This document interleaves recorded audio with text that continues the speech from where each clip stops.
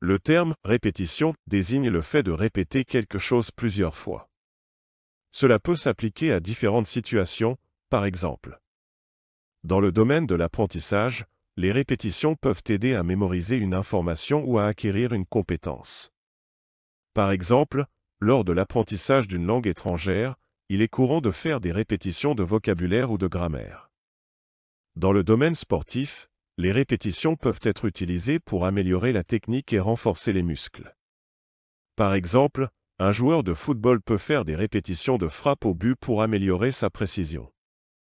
Dans le domaine artistique, les répétitions peuvent être utilisées pour peaufiner une performance ou une œuvre.